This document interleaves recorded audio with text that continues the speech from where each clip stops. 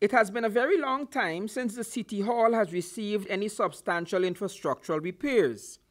Many financial commitments have been made to the repairs, including from the international organizations.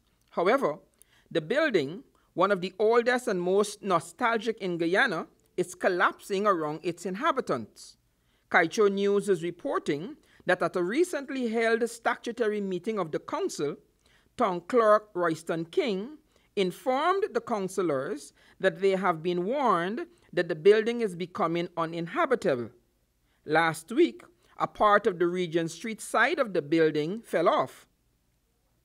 Town clerk King is quoted as saying, The building is in a state that we can no longer continue. King said that a piece of canvas in the roof is all that is preventing storm waters from coming through the ceiling and into the building. However, Mayor Patricia Chase Green is saying that the council has no money to move out. I am being frank, we cannot afford it, Green said. She also said that the million dollars that would be charged for rent can be used to buy their own building. The town clerk and the mayor both highlighted the quandary that the council faces.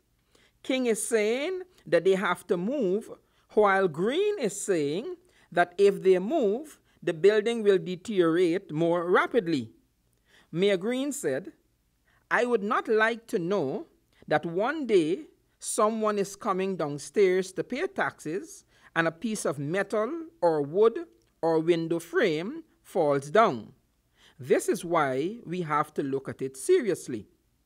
In late 2016, the European Union announced that a consultancy firm would spend 8 million Guyana dollars to conduct a feasibility study for a comprehensive restoration of the building. It was supposed to take four to six months. Thus far, there have been no status on this study.